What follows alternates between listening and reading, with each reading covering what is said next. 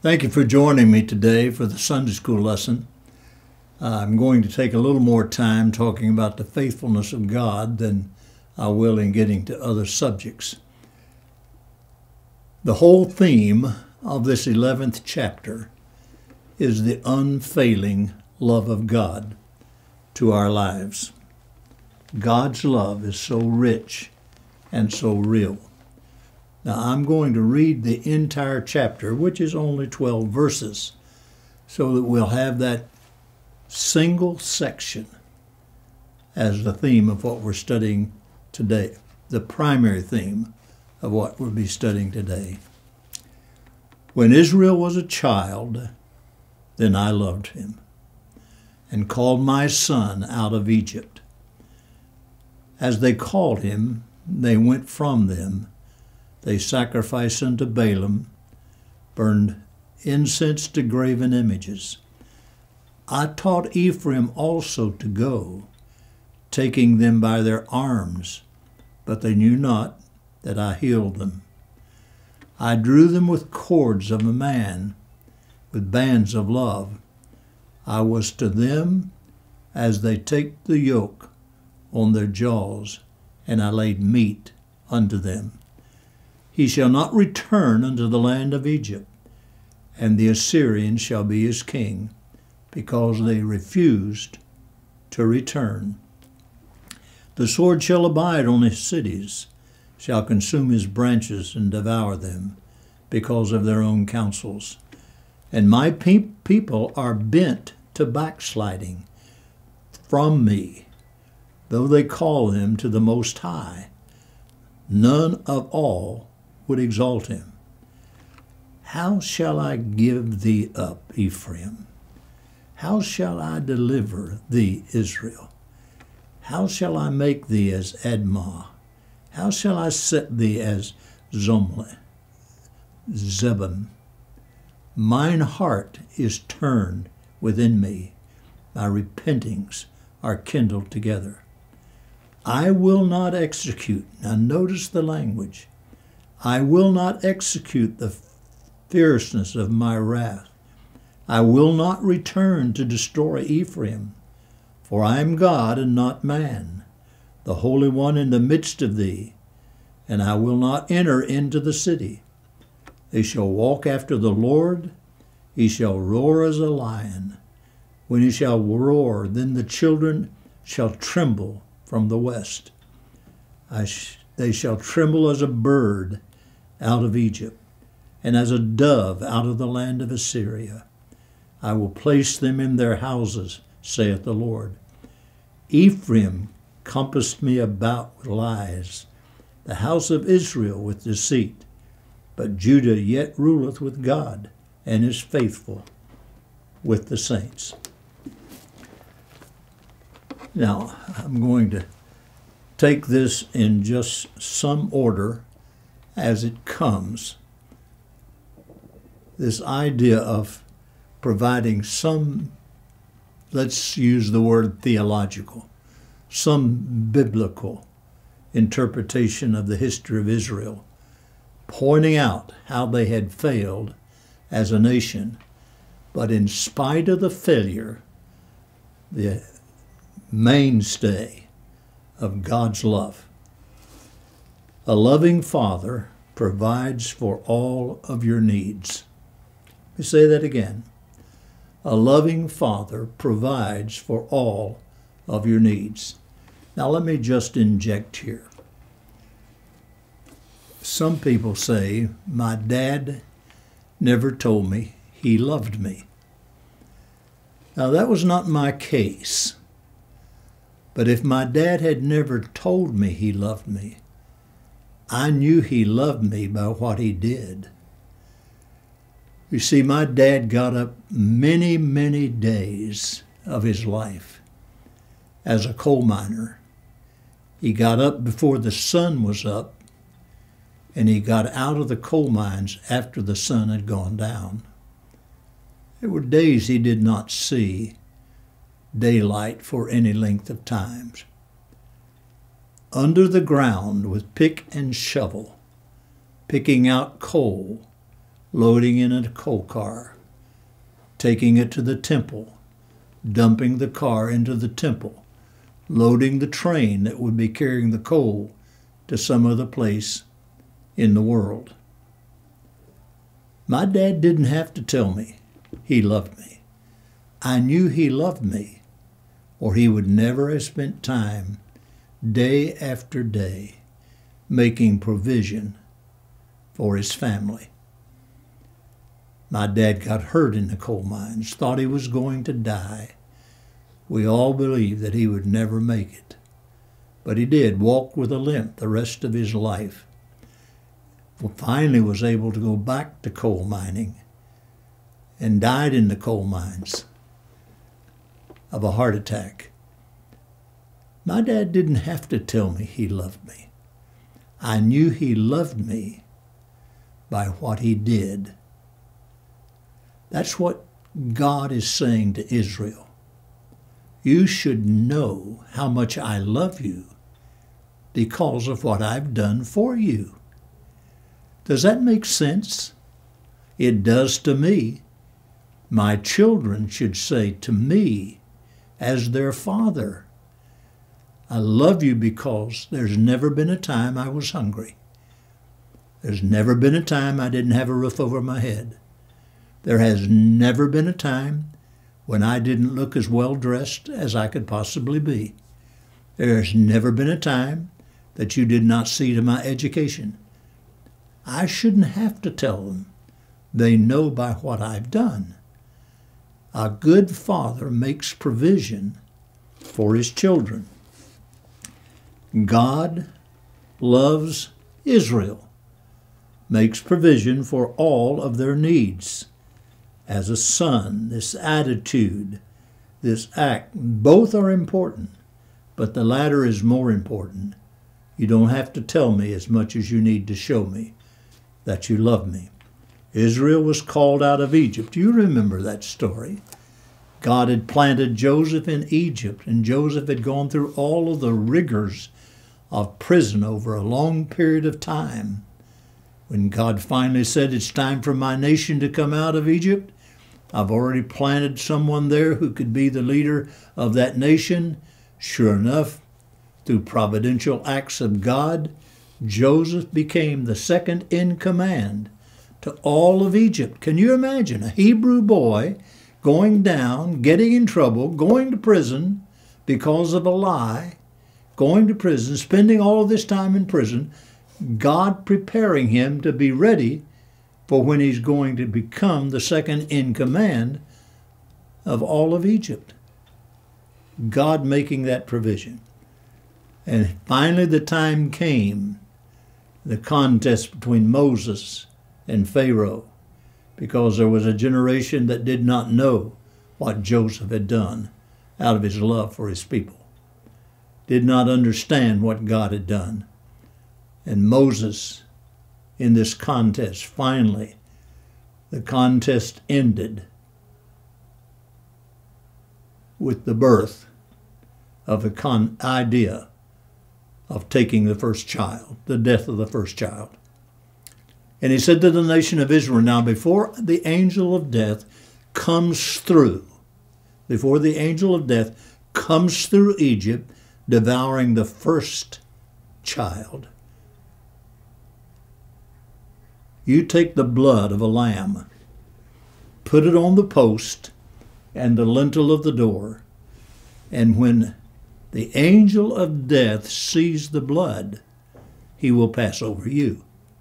Only, not because you're a Jew, but because my blood is going to be shed. And this is a forewarning, a foreordination of the fact that the Passover is going to come in your life as well. So the great Passover was formed. The nation of Israel came out of bondage on their way to the promised land. And for 40 years they wandered because they would not follow God's man. They would not follow the will of God for their life. They had all they needed to eat, and yet they wanted more. They got more. You remember the story of how God fed them with the manna from heaven, and then they said, But we need some meat. And so God let all the birds fly in and die and fall right around the camp. All they had to do was pluck it and cook it. God made provision for his people, and even that was not enough. Even that was not enough. So, God says to the nation of Israel, I love you, I've called you out of Egypt. They finally made it to the promised land. God made provision for them. The second thing, God's love should be stronger than our disappointments. God's love should be stronger than our disappointments. When divine love is rejected, Israel's response became a means of disappointment. God called afresh to every new age what had happened in Egypt, called afresh to every new age what had happened in their downturn, the golden calf that they made while he was up receiving the commandments from God. So, as a result of all of that, and by the way, that should be with us too. Uh, there were times I was disappointed in my parents, but my disappointment was not as strong as their love. And my love for them was stronger than any disappointment I ever had. I, I just don't know how you write off parents who love you. God's love was stronger than disappointments. Number three, he lovingly taught them how to walk. If you've ever had children and teaching them how to walk is no small thing.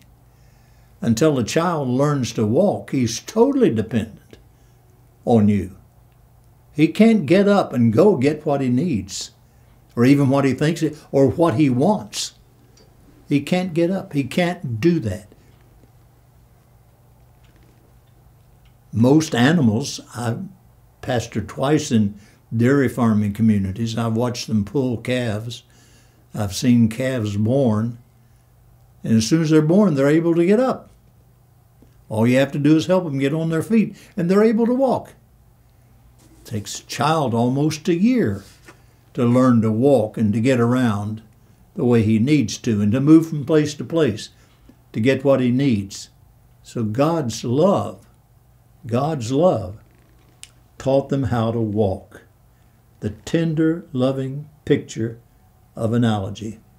I did it for you. I taught you how to walk. He upheld them with his arms.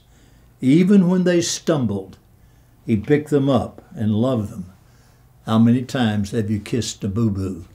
How many times has a mother's kiss healed a knot that was knocked on your head? How many times has a mother's love or a father's love overcome the hurt, maybe the embarrassment that you felt? How many times? So God lovingly, He heals them. Yet was I who taught my little son to take the first steps. If he fell and hurt his knees, 'twas I, his father, who kissed and made him better. So writes one writer. God love provided guidance for his people. He desired for them to be in useful service to him. He led them not with truff, not with the ropes. He led them with tender love, ropes of love. God's love made the yoke easier and provided the needed food. In love, the metaphor changes all of that because we make the provision, the parent child analogy. The second thing, a loving father not only let me go back and be sure I'm saying exactly what I want to say. A loving father provides for all of your needs. All of your needs. A loving father administers discipline. You go through this with every child because you cannot discipline every child the same. What works for one will not work for another. Now, if you have more than one child, you'll know what I'm saying. Some children are just born to be managed easier than other children. Some children are high strung. They're they're difficult to manage. And you can't manage them the same way that you manage the one who is not high strung, who is cooperative. Who is cooperative. Me again, let me just use my three children. I have a son, two daughters. John always wanted to be as independent as he could. He always wanted to be. I knew he was going to be an administrator when he grew up. You would go to my son's closet when he was preteen in particular. All of his shirts were hanging in one place, color coordinated. All of his trousers in one place, color coordinated. Always look into the drawer, his socks folded neatly, all of the other things folded neatly. And you go into our baby daughter's room, look in the closet. Nothing is even hanging on racks most of the time. She was the messiest child that I could ever imagine. She hated making beds. And, and even though we saw to it that she had to do certain things, she never did like doing them. Now, how are you going to manage those two? Our middle child, right in between, was the easiest of the three to manage because she always wanted to please her mother and father. So here are two on the opposite ends. How are you going? You do not discipline them the same way. Now that's what God's saying to Israel. I am responsible for administering discipline. I am responsible for your not returning to Egypt. I could have taken my hand off of you, and you would have had to go back or die in the desert one of the two. I'm responsible for placing the discipline of the Assyrians, using another nation to teach you discipline. I'm responsible. I am responsible for bringing judgment. I am responsible in administering that as a discipline because your tendency was to backslide. And that's the tendency of all of us, is to backslide. We have to be awfully careful. The world makes things so enticing. Watch television just for three hours. I guarantee you, everything that is wrong that needs to be sold, they will do it with the finest looking young people that you could find. Always the party's better, but look around the party. Who's having the party? The finest looking young people. They're selling the product. And the world knows how to sell products. Whatever it might be, any kind of booze. I saw one the other day of a young man.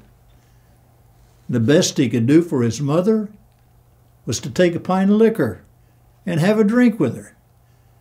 And they sold that as a loving act, or tried to sell it, and some, I'm sure, bought it as a loving act.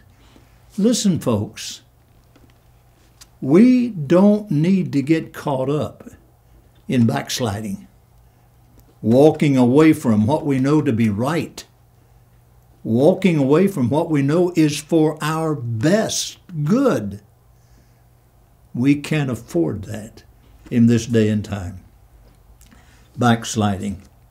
the wrong use of the source of assistance, the wrong use. As one man told me one time, this is, this is an illustration, but it's real. It happened to me. I had a friend who was older than me that I thought at one time may be a mentor for my life. He walked off and left his family for his secretary and then tried to sell me on the idea it was the will of God. No, it, not the will of God. Never. That is a misuse of God's name. That is a misuse of the resource God had given him to know better. That's what he's saying about Israel. You knew better and you did it anyhow. And you thought somehow I'm doing this for God. Somehow, using these resources that I made available to you, you used them for the wrong things and thought you were doing them for me or making yourself believe you were doing for me. God has to minister discipline. He has to. Next, a loving father can suffer rejection and renewal and still remain faithful. I mean, reversal and still remain faithful. There's no giving up, there's no surrender. You simply know that God is going to take care of you eventually.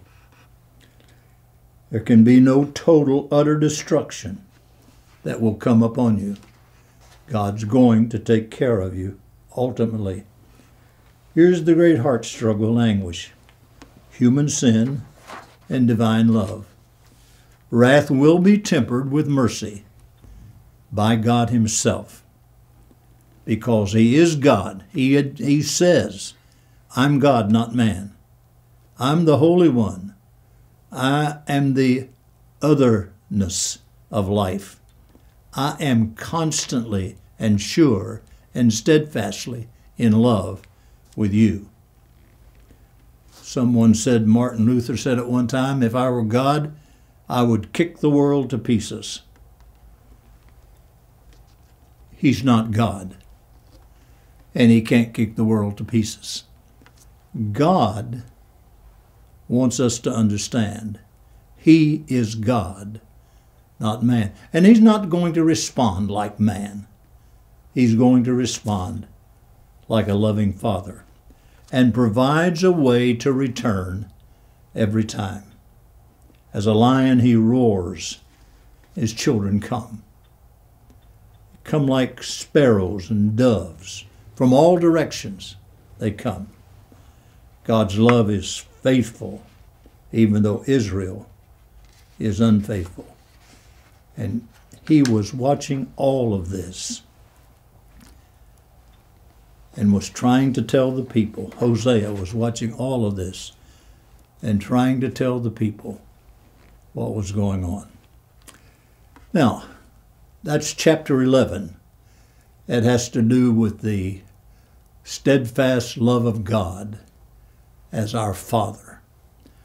Now he's going to come back and talk about some things that we will see as a national origin and lessons about that origin, the growing wealth that came to Israel as a result of God's blessing upon their life, and how they misused that and turned that in the wrong way.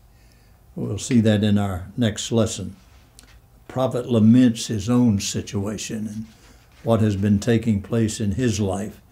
Uh, Gomer, his wife, he bought back, you remember from earlier lessons, he bought back off the slave auction block.